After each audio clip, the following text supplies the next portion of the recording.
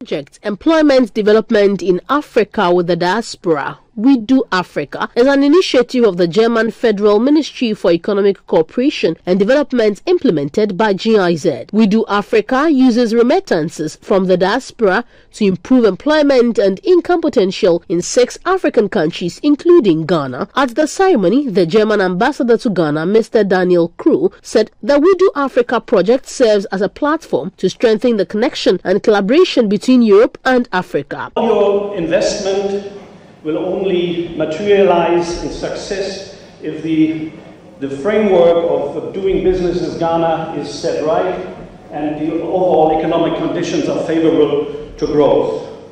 And that is, the, that is our common um, aim uh, when we are in talks with the Ghanaian governments, when we are in talks with the IMF, with the World Bank and other institutions. It is how can we help to get Ghana back on track, on path of economic growth and recovery? This is what we are working on.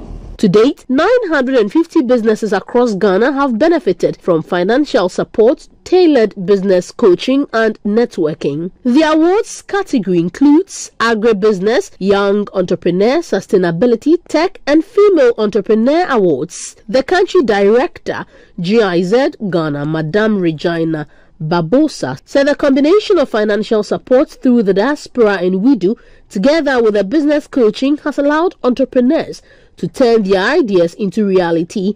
The chief executive of the Ghana Enterprises Agency, Mrs. Kosi Yankey-Ayeh, said the agency is happy to see the transformation of which the GEA has supported over 525 of the over 900 businesses across Ghana. We were part of that design of WIDU, and I wish we could do so much with WIDU and so many more. From Accra all the way to Bongo, our BAC officers who are part of our structure ensured that they were training and coaching people and bringing people to understand what WIDU was about. That it wasn't only about remittances for frivolous or for consumption, but really it was for them to transform their businesses and bring hope to the families they had left behind. Ghana is the second largest recipient of remittances in sub-Saharan Africa. In 2021, an estimated $4.5 billion was remitted. This is equivalent to 6% of the national GDP.